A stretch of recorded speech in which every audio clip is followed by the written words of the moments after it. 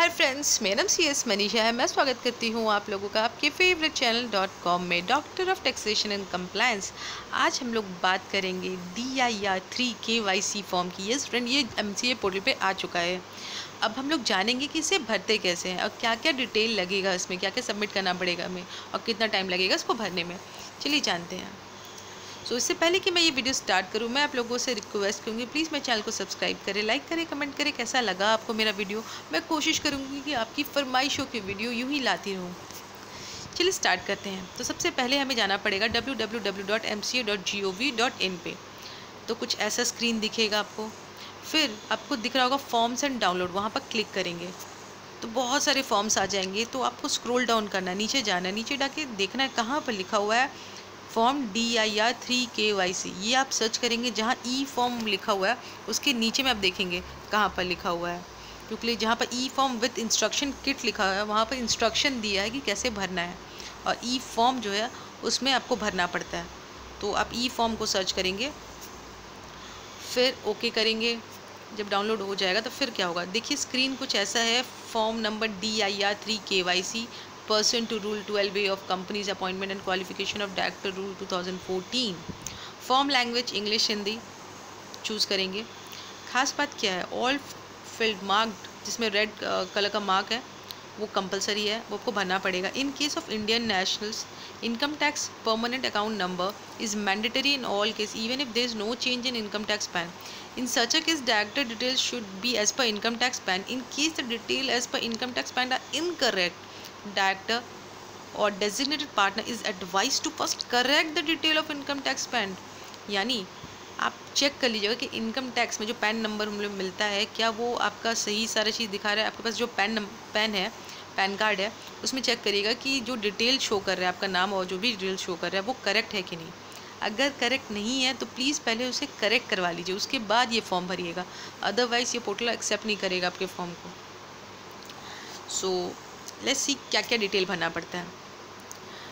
एक और ख़ास बात, ये फॉर्म ना कि सिर्फ़ जो डायरेक्टर है उनके लिए है in fact designated partner NLP designated partner उनके लिए भी है, उनको भी डिन नंबर मिलता है, उनके लिए भी है, उनको भी ये केवाईसी फॉर्म भरना पड़ेगा। तो क्या क्या डिटेल देना है हमें? सबसे पहले डिन नंबर देना है प्री फिल वाला बटन क्लिक करेंगे। जैसे ही क्लिक करेंगे तो नेम प्री फिल में आ जाएगा, अपने आप कैच कर लेगा। फिर आपको देना पड़ेगा director name enter full name and not do not use abbreviation यानी पूरा नाम आपको लिखना पड़ेगा, जो फ़र्स्ट नाम है आपका लास्ट नाम है, जो सर नेम है मिडिल नेम अगर कुछ है तो वो।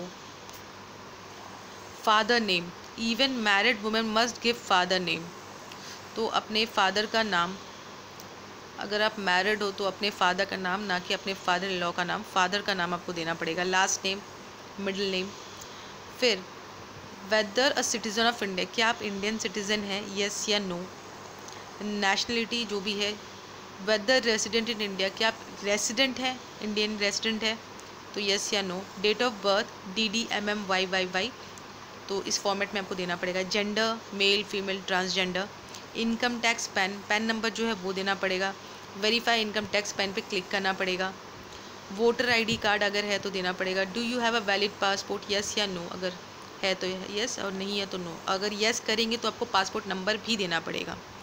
ड्राइविंग लाइसेंस नंबर अगर है तो.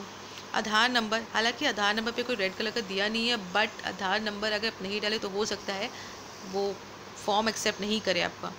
आपको दिखाए कि हाँ मिसिंग डिटेल में आधार नंबर है तो मैं रिक्वेस्ट करूँगी प्लीज़ अपना आधार नंबर ज़रूर साथ में लेके बैठे जब इस फॉर्म को भरें.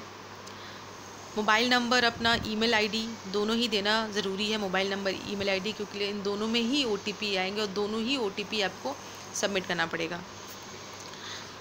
सो so, आधार नंबर जैसे कि मैंने बताया हो सकता है कैश ना करें। ऐसा एरर आए। Mandatory field Aadhaar number not entered अगर आप सारा फॉर्म भर लेंगे आधार नंबर नहीं डालेंगे और चेक फॉर्म करेंगे तो हो सकता है ऐसा आए आपके साथ। सो so, आधार नंबर कोशिश करिएगा देने का। Personal mobile number email ID OTP अभी नहीं आएगा।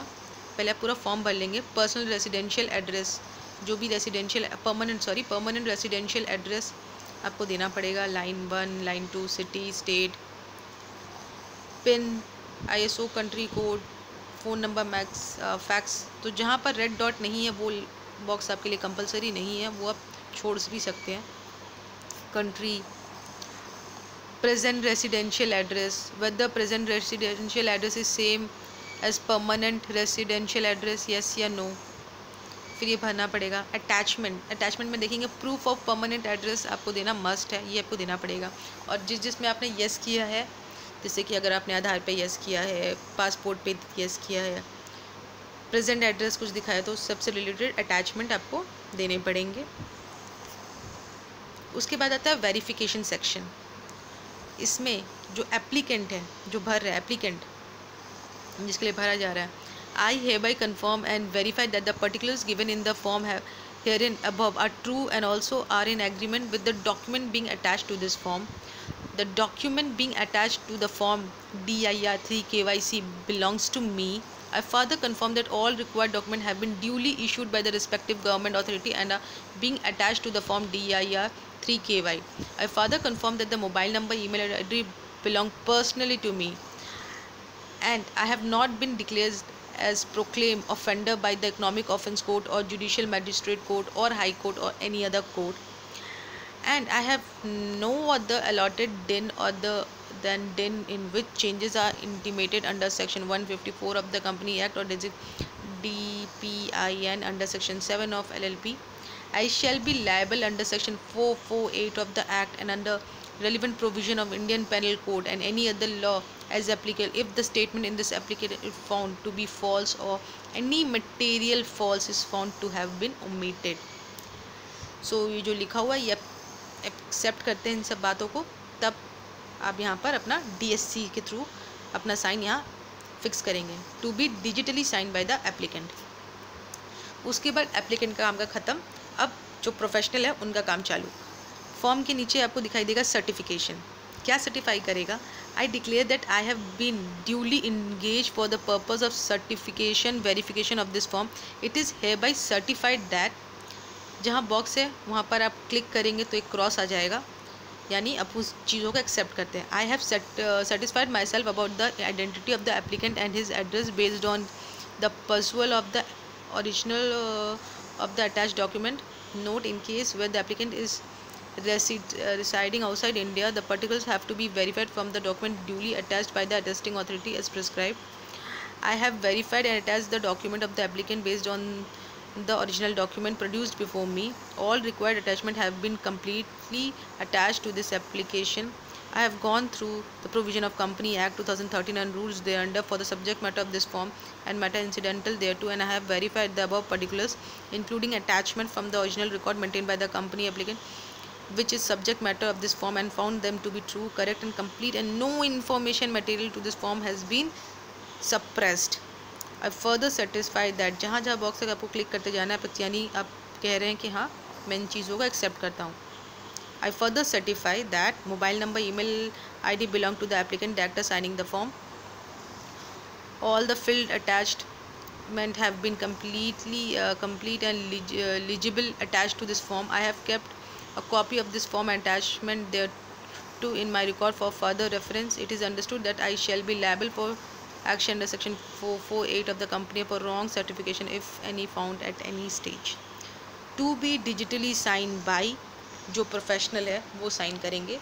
ड्रॉप डाउन बॉक्स से आपको सिलेक्ट करना पड़ेगा कि आप किस कैटेगरी के प्रोफेशनल हैं। मतलब आप सी ए है कॉस्ट अकाउंटेंट है या सी एस है। होल टाइम प्रैक्टिस में होंगे, तभी आप इसको सर्टिफाई कर सकते हैं। तो यहाँ पर अपना डी एस सी फिक्स करने के बाद आपको वेदर आप एसोसिएट हैं फेलो है मेंबरशिप नंबर सीओपी नंबर ये सब करने के बाद आपको चेक फॉर्म करना पड़ेगा। चेक फॉर्म करेंगे, form level pre scrutiny successful उसके बाद प्री स्क्रूनिटी करना पड़ेगा, तभी आपका ये जो सेंड ओ वाला जो बॉक्स है, वो जो अभी देख रहे ग्रे कलर है, उसका कलर चेंज होगा ब्लू कलर हो जाएगा सो क्लिक करेंगे तो फिर ओटीपी आएगा। ओ आपकी मोबाइल नंबर में भी आएगा और ईमेल आईडी में भी आएगा। तो उन ओ को आप यहाँ पर भरेंगे फिर वेरीफाई ओटीपी कर देंगे। तो इस उसके बाद क्या करेंगे? उसके बाद आप वापस एम सी ए पोर्टल पर जाएँगे और उस फॉर्म को अपलोड कर देंगे।